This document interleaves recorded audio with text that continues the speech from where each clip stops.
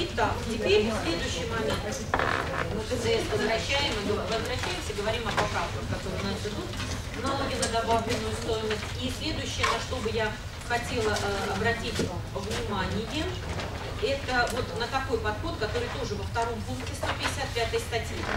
То есть вот, э, например, у нас есть ряд операций, которые не облагаются НДС. Ну, например, те же заемные средства. И если мы переуступаем, э, допустим, право, на, э, право долга по заемным средствам, поскольку мы переуступаем вот это заемное обязательство, изначально не облагаемое НДС, то и ранее организации понимали, про перепереуступки даже с большей величиной НДС все равно не уплачивался.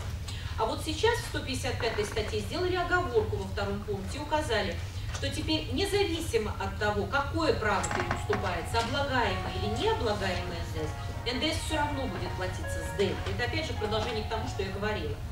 То есть первоначально мы говорим, что при переуступке первичной, вторичной НДС платится с разницей между ценой переуступки и вот расходами, которые были связаны с приобретением да, этой переуступки или в связи с реализацией, которые возникли.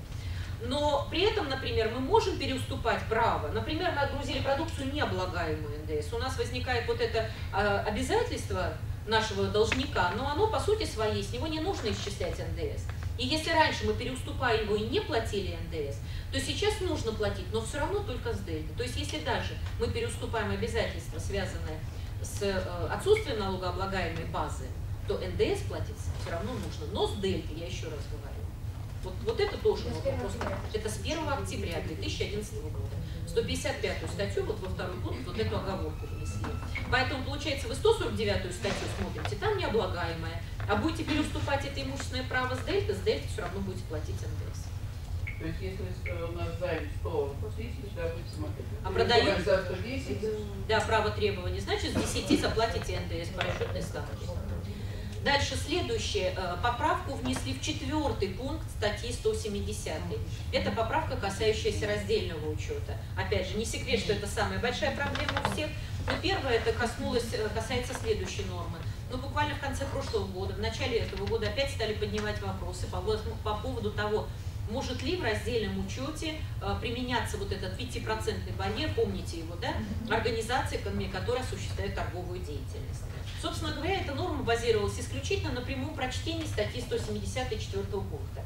И там говорится о том, что организация, которая осуществляет операции облагаемые НДС и необлагаемые НДС, обязана вести раздельный учет. Дальше идет методика, да, когда мы должны отделить те расходы, которые относятся к операциям облагаемым НДС, и по ним к вычету берем, а те расходы, которые относятся к операциям необлагаемым НДС, к вычету не берутся, в расходы НДС включается. А вот то, что мы не можем разделить, да, иногда это бывают общехозяйственные расходы, там расходы на продажу, они должны делиться. И делятся они пропорционально величине доходов. То есть, по сути дела, мы часть этих расходов в, одном, в конкретном квартале относим к доходам облагаемым, другую часть к доходам необлагаемым. Та часть, которая приходится на доходы необлагаемые, значит, НДС берется в расходы, а та, которая идет к доходам облагаемым, берется к вычету. В силу прописания этой статьи, вот буквального прописания, там нет упоминания о товарах, там говорится, связано с производством продукции, работ, услуг. И на основании этого налоговики сделали вывод, что к товарам это не относится.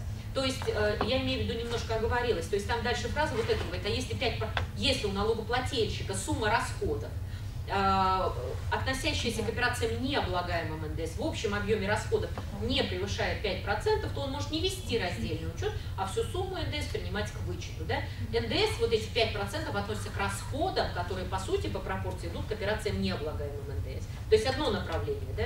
потому что если 5% относятся к расходам облагаемым НДС, раздельный учет все равно ведется, то есть к необлагаемым. Поэтому получается вот это деление. И вот эти 5% налоговики упорно не хотели относить к торговой деятельности, потому что там написано, что при производстве там, продукции, работ, услуг. Сейчас туда дописали и, по, и при перепродаже товаров. Это вот теперь в четвертом пункте статьи 170. Но дело в том, что, конечно, с этой ситуацией соглашаться нельзя и в более раннем периоде. Ну, потому что, э, по крайней мере, вот в прошлом году было, не в прошлом, а вот до лета можно обратиться, было просто два письма. Одно письмо написала Федеральная налоговая служба и сказала, 5% не берут торговые организации в расчет. А Минфин тут же написал и сказал, что не может, это, собственно говоря, даже и арбитражная практика так спорит, не может в зависимости от видов деятельности дифференцироваться порядок расчета налогов. То есть получается несправедливый подход, да? То есть организация производственная или торговая почему-то должны по-разному вести раздельный учет.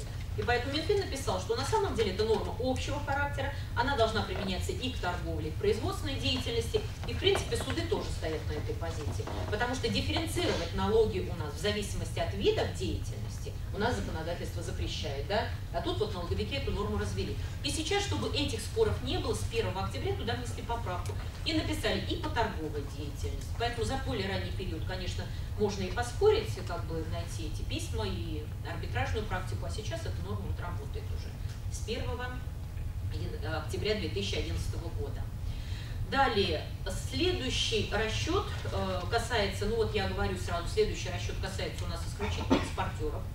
И организации, которые занимаются экспортом, помнят, что с 1 октября 2011 года, когда собирается пакет документов, теперь выписку банковскую туда класть не нужно. То есть, собирая пакет документов, вы будете собирать все документы. То есть, о чем это говорит? Это говорит о том, что теперь экспорт будет подтверждаться независимо от того, получили вы оплату от своего контрагента или нет. Это касается экспорта во внешние страны, это касается экспорта в таможенном союзе, то есть, например, в Казахстан или в Белоруссию. Поэтому, возможно, кто-то начнет подтверждать право на применение ставки 0% уже не в течение 180 дней, пока оплату получает, а ранее.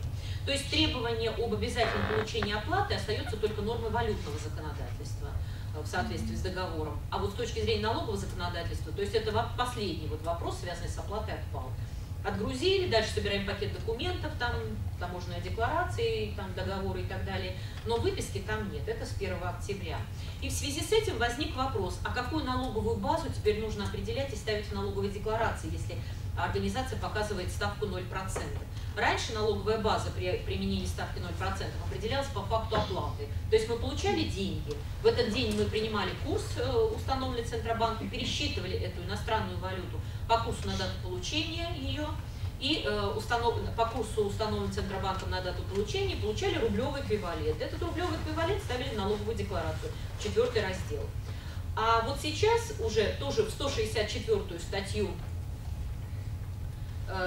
прошу прощения, 153 статья, пункт 3, вот здесь, 153 статью, пункт 3, теперь говорится о том, что налоговая база определяется по дате отгрузки. То есть это значит, независимо от того, как мы получим деньги, именно для НДС, не путаем здесь с налогом на прибыль, потому что налогом на прибыль все не так, да? Там, если изначально, допустим, мы получили валюту, то мы пересчитали ее по курсу на дату получения, дохода, и реализация у нас получается по этому курсу. А здесь нет, только для НДС. Налоговая база определяется, исходя из величины этой отгрузки по курсу на дату отгрузки. То есть вот опять на дату оформления таможенной декларации. Берем курс, умножаем и ставим декларацию. Получили мы оплату или нет, это уже роли не играет.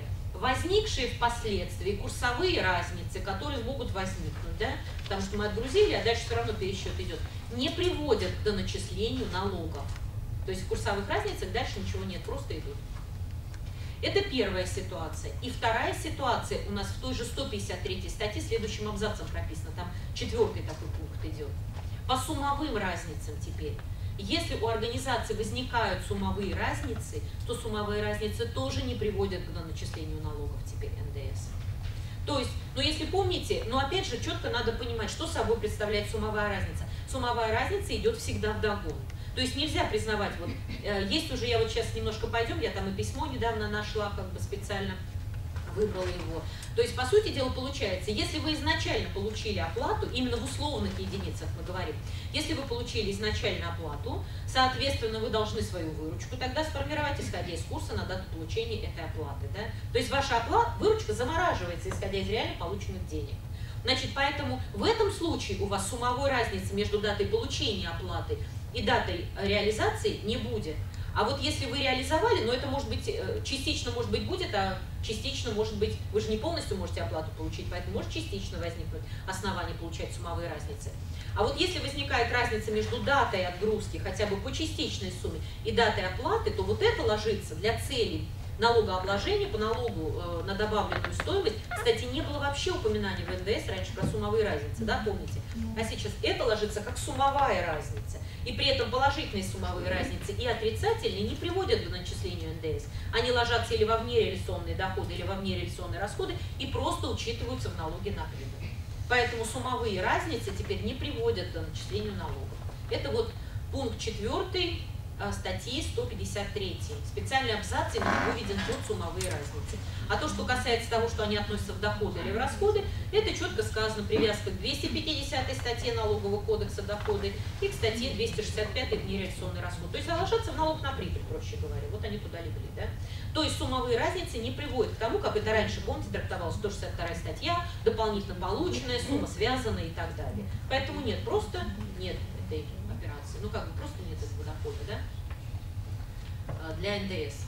Итак, вот этот момент, я тоже считаю, вот суммовые разницы, то, что я имела в виду. Здесь имеется в виду, вот смотрите, частично, как вот вы говорите, то есть организация, покупая основное средство, половина оплатила основного средства в УЕ, основное средство поступило, и вторую половину она уже потом... Значит, у вас получится частичная суммовая разница, да? Значит, вот когда пришли, когда это основное средство пришло, э, вот по курсу 19 у нас образовался. Да. Да, и, собственно говоря, этот НДС я и... Э, То есть тогда, когда вот частично у вас пришла эта сумма, например, оплаты, э, вы эту сумму пересчитали по курсу на дату ее да. получения, и, соответственно, если это касается вашей выручки, то в этом случае ваша выручка будет исходя из этого курса, да? И с этого курса вы заплатили НДС, по сути дела. А дальше у вас получается между датой вашей отгрузки и последующей датой оплаты еще идет сумма неоплаченная. Вот она приведет к суммовой разнице, потому что на дату оплаты или на дату частичной оплаты или полной... У меня, смотри, входной НДС, у меня входной НДС, вот предоплата, я посчитала. Но я сейчас сказала про налоговую базу. Такая же ситуация пойдет и в части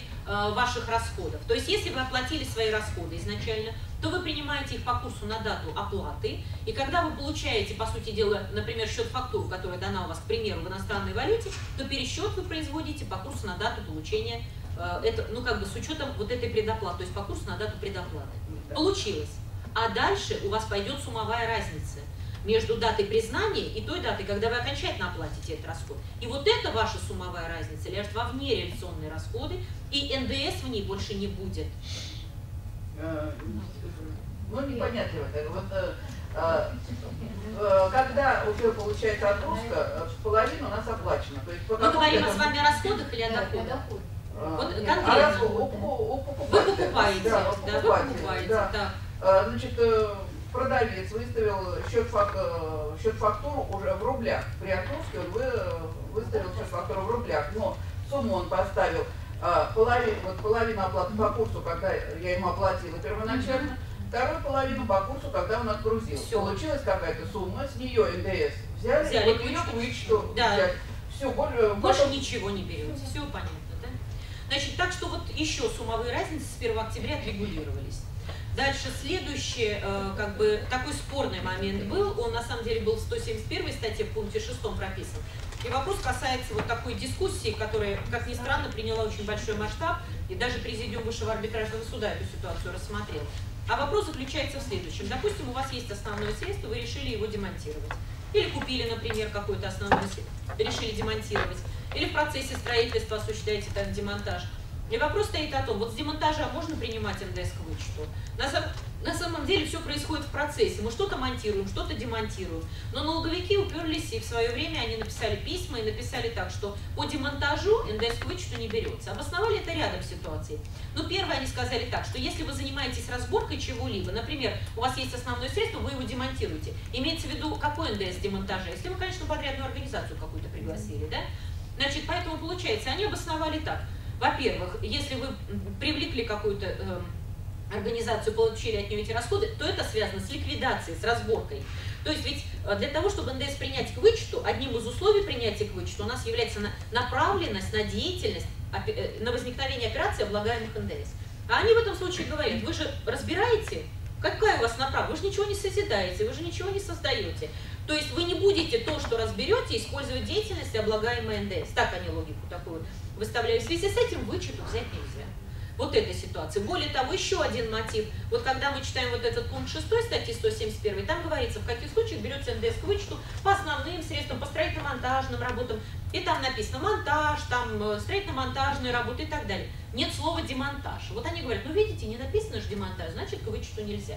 То есть на самом деле действительно эта вот ситуация как неожиданная появилась. Но Даже в 2010 году президиум вас рассмотрел эту ситуацию, потому что у кого-то она применила, приняла огромный масштаб, потому что расходы были такие. И в 2010 году президиум Высшего арбитражного суда сказал, какая разница, что демонтаж, что монтаж, все это идет с целью деятельности организации, а ее деятельность, она и есть направленная там, на осуществление операций, облагаемых НДС. И если четко не видно, что это, например, будет строительство какого-то объекта необлагаемого, который будет использоваться не для производственной деятельности, то основание для вычета есть, а потом будет использоваться в деятельности необлагаемой, например, тогда, пожалуйста, восстановите НДС. То есть президиум вас подтвердил. И вот сейчас законодатель добавляет в пункт 6 статьи 171 вот эту фразу и пишет, что при демонтаже также принимается НДС к вычету. Закрыли и этот вопрос. Закрыли этот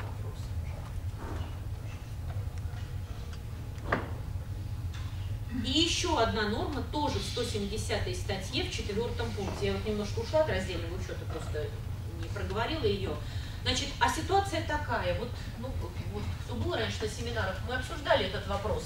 Он как бы никому особо покоя не дает, опять возвращаемся к раздельному учету. А ситуация, например, такая, организация купила основное средство, а у нее раздельный учет, у нее есть операция облагаемая необлагаемая НДС. И, например, она приняла на 0,8 счет, это основное средство, получила входящую сумму НДС, например, приобрела его в январе месяце там, 2011 года, а дальше вопрос возникает, она это основное средство будет использовать как в деятельности облагаемой, так и невоблагаемой НДС. Далее, 170 э, статья 4 пункт нам говорит о том, что раздельный учет, если она и там, и там будет использовать, то вопрос стоит вот в какой степени к вычету брать, в какой в расходы включить. Значит, а 170 статья 4 пункт говорит, что раздельный учет ведется по результатам налогового периода, налоговый период квартал. И что получается? Организация, например, ладно, если он у нее будет на 0,8 счете, какие-то доработки идут, а если она принимает на 0,1 счет по правилам бухгалтерского учета, например, и дальше начинает со следующего месяца начислять амортизацию, основное средство работает, и в, и в налоговом учете оно может точно так же уже эксплуатироваться. И только в конце квартала, то есть получается уже в феврале начислили амортизацию, в марте начислили амортизацию, и только в конце марта организация начинает определять долю НДС облагаемого и необлагаемое.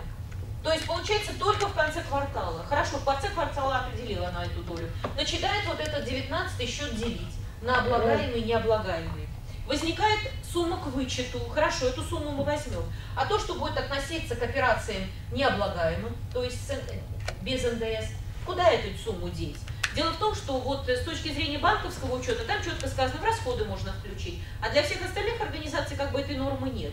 И вот в этом отношении, поскольку норма не разъяснена, мы разные варианты давали, например, в учетной политике написать, но все равно же это расход. Только единственное, что через амортизацию он не будет переноситься, а сразу учтется в расходах. Ведь по логике получается на эту сумму НДС мы не имеем права изменять первоначальную стоимость основного средства. Ни реконструкция, ни модернизация и так далее. Но вопрос этот был действительно очень такой острый. Организации поступали кто как угодно, потому что если кому-то рекомендовали, например, часть НДС просто в расходы включить, но опасались, если крупное основное средство, возвращались назад, изменяли первоначальную стоимость, пересчитывали. И есть такую процедуру делать регулярно, когда идет приобретение, ну, конечно, адский труд, да.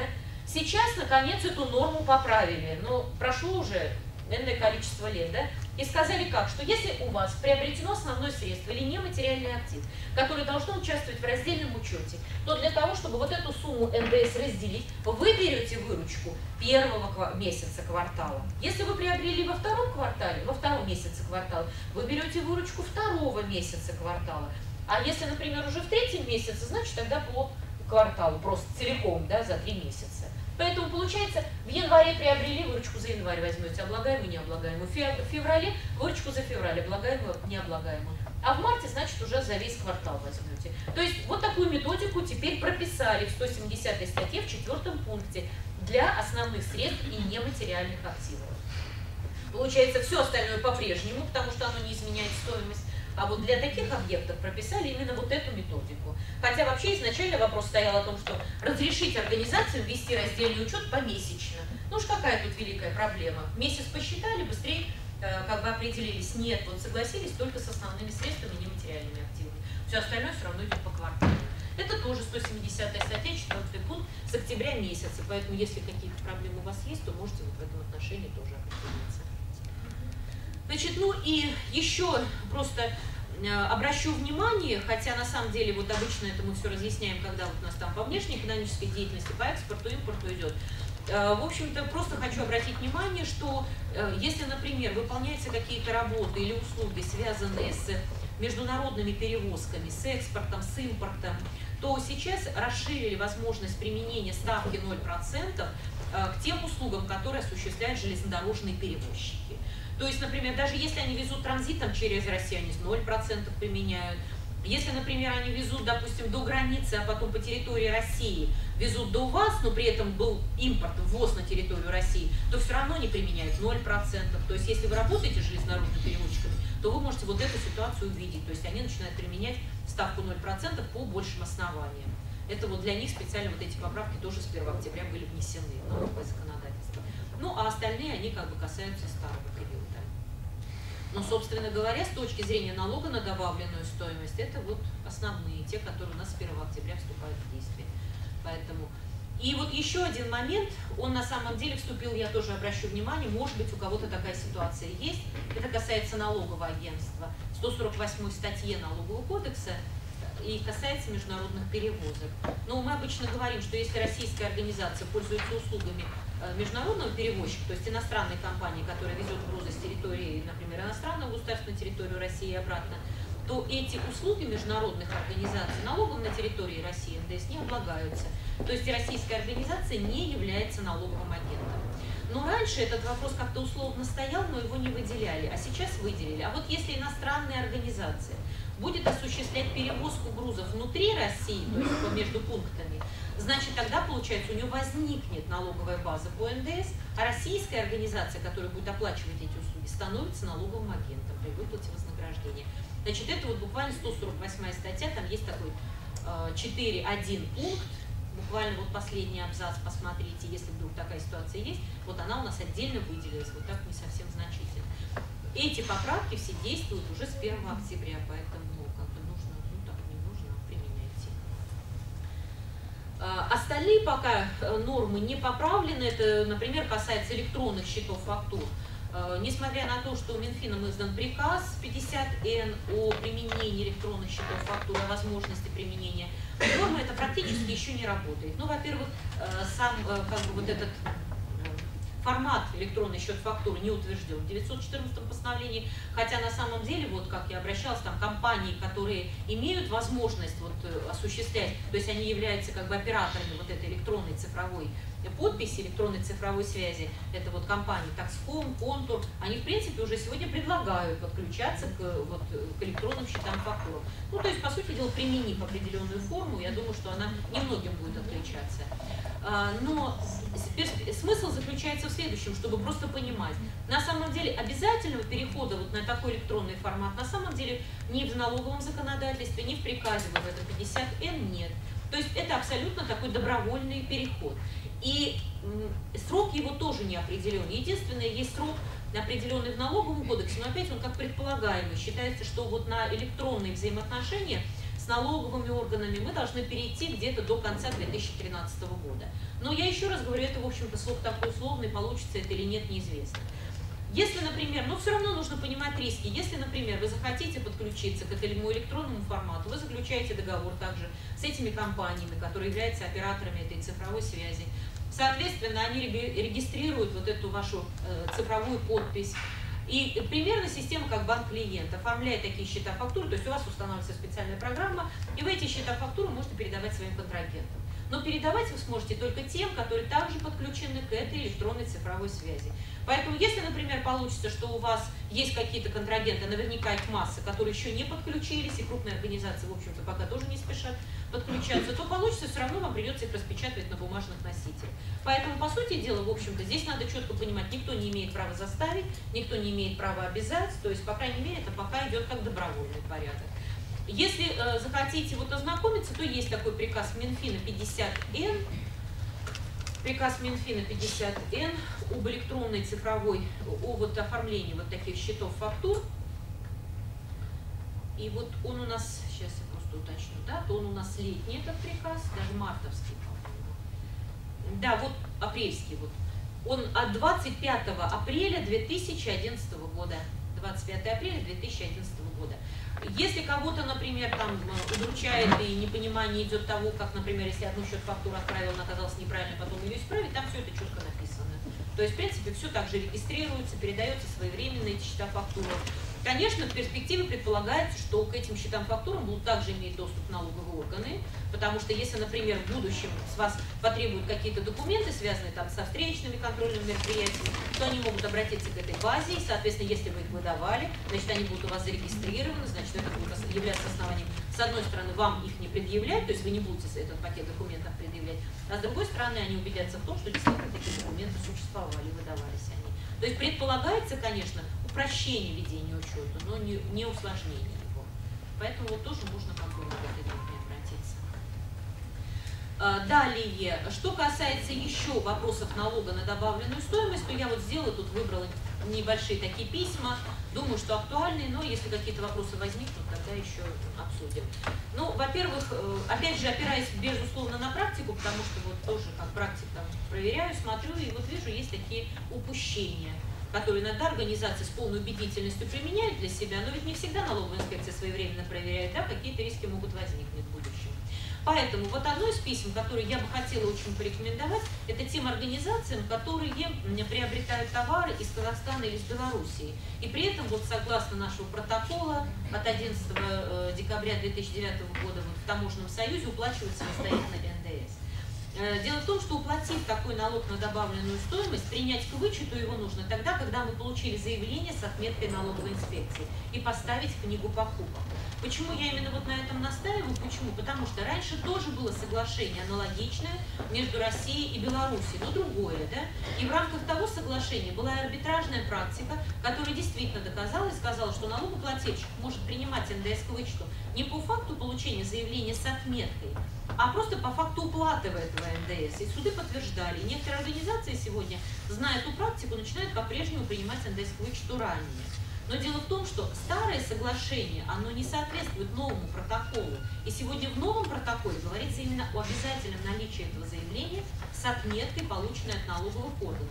И поэтому практика может измениться. Вот письмо просто предлагаю, в котором говорится, когда получили заявление, с отметкой налоговой инспекции отнесли в книгу покупок, его включили и приняли НДС к вычету. В принципе, вот как бы такой порядок.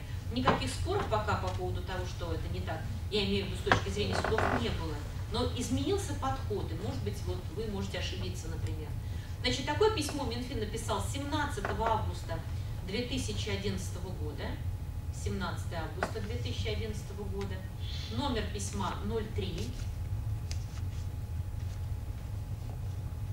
07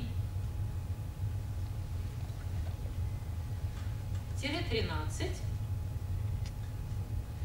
дробь 01 36 03-07-13, дробь 01-36 от 17 августа 2011 года.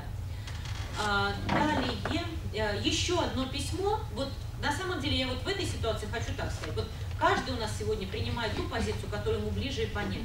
Наше законодательство за это время столько пересмотрело вопросов по поводу основания для принятия к вычету, в каком периоде, да, что иногда некоторые уже запутались. То так говорят, то так говорят.